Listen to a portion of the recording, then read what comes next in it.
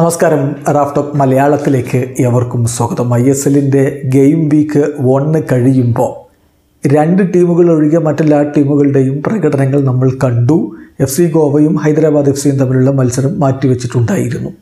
ഇപ്പോൾ game week ഒന്ന് കഴിഞ്ഞ ഈ ഒരു ഘട്ടത്തിൽ I S എല്ലിലെ team of the week Sofascore dot com പുറത്തുവിടുന്നു. നമ്മളൊന്ന് പരിശോധിക്കുകയാണ്. സോഫാസ്കോ ഡോട്ട് കോമിന്റെ ടീം ഓഫ് ദി വീക്ക്. നമുക്കറിയാം സൊഫാസ്കോ ഡോട്ട് കോം റേറ്റിങ്ങും മറ്റു കാര്യങ്ങളുമൊക്കെ കൃത്യമായിട്ട് അവതരിപ്പിക്കുന്ന ഒരു ഏജൻസിയാണ്. റാഫ്റ്റോക്സിൽ നമ്മൾ പലപ്പോഴും അവരുടെ റേറ്റിംഗ് എടുത്ത് വീഡിയോ ചെയ്യാറുമുണ്ട്. ഓരോ താരങ്ങളുടെ പ്രകടനം ആധികാരികമായിട്ട് നമുക്കതിൽ നിന്ന് വിലയിരുത്താൻ കഴിയാറുണ്ട്.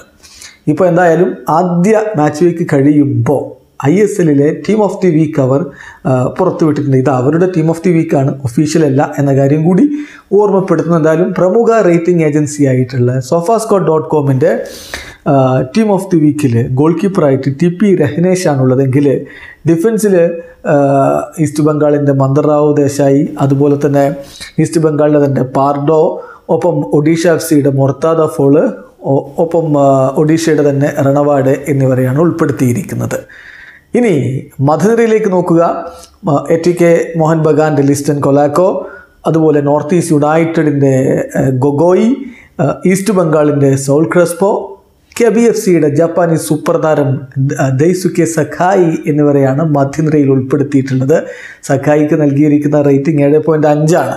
മുന്നേറ്റത്തിലുള്ളത് എ ടി കെ മോഹൻ ബഗാന്റെ ദിമിട്രിയോസ് പെറ്ററ്റോസ് എട്ട് പോയിന്റ് ഒന്നാണ് പെട്രാറ്റോസിന്റെ റേറ്റിംഗ് കൊടുത്തിരിക്കുന്നത്.